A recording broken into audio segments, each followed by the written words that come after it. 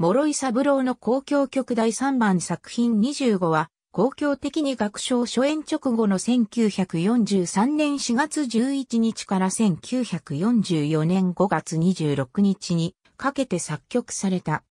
1950年、東京工業大学の学園祭の催しの一環として山田和夫式日本交響楽団によって初演された。ピッコロ、フルートに、コーラングレ、オーボエに、クラリネットに、バスクラリネット、ファゴットに、コントラファゴット、ホルン4、トランペット3、トロンボーン3、チューバ1、ティンパニ、小太鼓、大太鼓、弦楽、オルガン。どっしりとした弦楽の音形によって開始され、オーボエの試作するような旋律が反復されながら、高潮し、減衰してゆくと、テンポを早めて、特徴的な音形を持つ主題が現れる。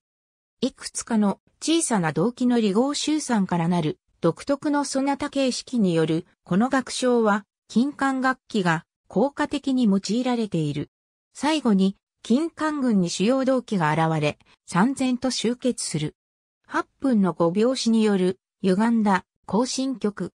クラリネットに攻撃的な主題が現れ、第一楽章同様単一主題的で様々な楽器に受け渡され、最後にトランペットが強烈な叫びを上げる。アダージョトランク色で、オルガンの塔々土台に、オーケストラが乗降する、参加風の動機を奏し、荘厳な展開の後トランペットによる印象的なファンファーレを導き出す。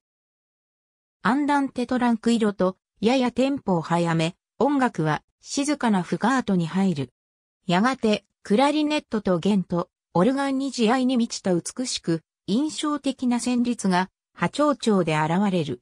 弟子の柴田波夫はこの旋律を人類の祈りの歌と呼んでいる。この旋律は次第に厚みを増し、金管とオルガンによって変度長調で荘厳に奏でられ、穏やかに集結する。ありがとうございます。